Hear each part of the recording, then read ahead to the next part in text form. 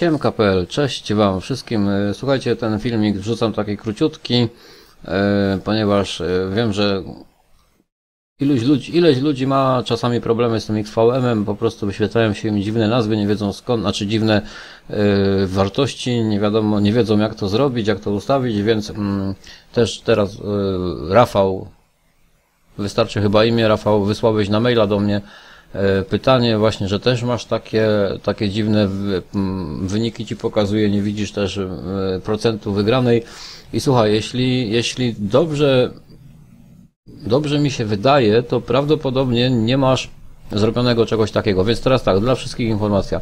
Wchodzimy na stronę y, xvm.com. Musimy się zalogować, czyli klikamy tutaj zaloguj się, pokazujemy, jeśli jesteśmy na serwerze europejskim, klikamy w Europę. E, Logujemy się, mnie automatycznie już loguje i teraz widzicie, mamy tutaj tak, e, żeby to wszystko działało, bo- bodajże 12 dni chyba e, działa takie jedno logowanie. Musimy tak, przedłużyć te statystyki wszystkie, aktywować i jeszcze raz, no i tutaj coś mi po rusku wyskoczyło, czekajcie, na angielski przełączymy. Aha, i zupdate'ować statystyki i mamy, tak? I teraz ważna rzecz, tu jest ustawienia są, tu widzimy ustawienia. Musimy kliknąć na ustawienia. I teraz tak, Rafał i wszyscy inni, którzy macie dziwne wskazania, e, jeśli się logu- logujecie pierwszy raz e, na stronie XVMA, to tutaj macie to odznaczone na przykład.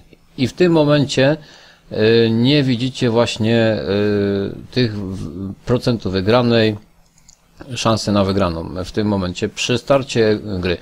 I druga sprawa, jeśli Wam się wyświetlają różne dziwne wartości, tutaj na dole w tym miejscu mamy różne e, właśnie też e, możliwości i zaznaczamy po prostu, bo możemy pokazywać sobie WN6, żeby nam wyświetlało efektywność, tu jakieś WGR jest, nie? Zaznaczamy WN8 i wyświetla nam wtedy właśnie tak jak się należy wartości WN8. No i, i, to, i to wszystko praktycznie. O, widzicie, u mnie mam zaznaczone wszystkie po kolei tutaj opcje. Y, Mam skalę mm, tą, no, default, kurde, jak to po polsku jest? Domyślną, o. ok, no i WN8 zaznaczone. Ja tutaj flag nie ruszam.